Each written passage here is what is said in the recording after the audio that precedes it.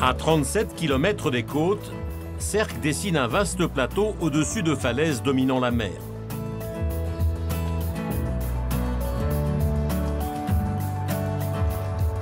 À peine débarqués, Michel et Philippe se rendent dans l'unique village de l'île. Voilà, les burons sous le soleil. Oui, les Burons, c'est du nom d'un célèbre euh, pirate, non Qui a séjourné à Serre.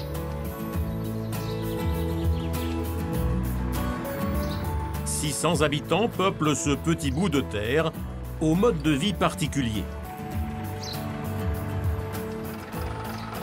Première règle, les engins motorisés sont strictement interdits, à l'exception des tracteurs.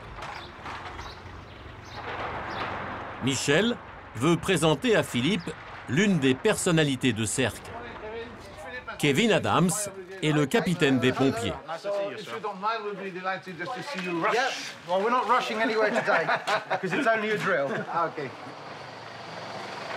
Même pour les sauveteurs, le tracteur est le seul moyen de locomotion.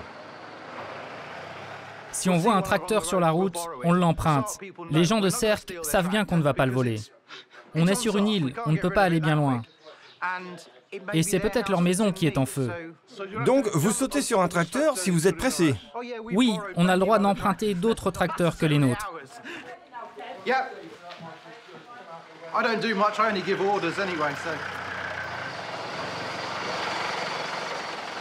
Si notre tracteur tombe en panne, pas de problème.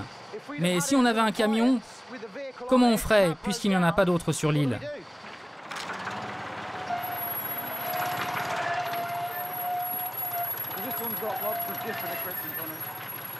Kevin Adams, comme la plupart des habitants de l'île, a plusieurs métiers. Je suis organiste à l'église et chef de chœur. Mais je suis surtout prévôt dans la cour du Sénéchal. C'est moi qui exécute les jugements de la cour, qui collecte les impôts et fait payer les amendes. Nous avons tous différents métiers ici. Aucun ne tient sur l'année. On aime bien être unique. C'est ennuyeux d'être comme les autres.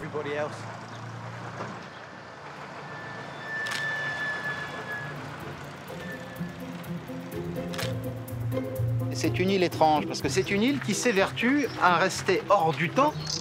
C'est un choix de vie que de rester à l'écart des temps modernes, ce qui n'est pas toujours si facile que ça d'ailleurs. Michel et Philippe traversent maintenant des jardins à la française. Ils mènent à un site qui lui aussi a traversé le temps. Cet endroit s'appelle la Seigneurie parce que encore en 2017, eh il y a toujours un seigneur, seigneur du type féodal, qui vit sur l'île de Cercle. Depuis le XVIe siècle, les 40 propriétaires terriens sont gouvernés par un seigneur. Le titre et les terres se transmettent de père en fils. C'est vraiment encore à l'heure actuelle, je crois qu'en Europe, c'est le dernier bastion féodal.